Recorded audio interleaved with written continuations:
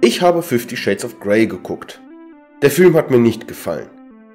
Um zu klären, warum, ergibt es Sinn, erstmal zu betrachten, was der Film nicht ist. Der Film ist kein Porno.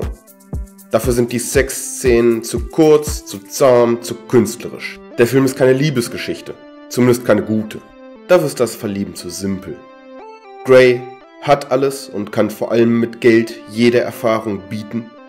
Und die Welt verrenkt sich am Anfang durch das Interview und den Fototermin quasi, damit Anna und Grey etwas miteinander zu tun haben. Das einzig Interessante, was bleibt, ist der BDSM-Konflikt. Allerdings kommen beide Seiten dieses Konfliktes nicht zu den interessanten Fragen. Anna ist zu zögerlich und Gray lässt sich darauf ein.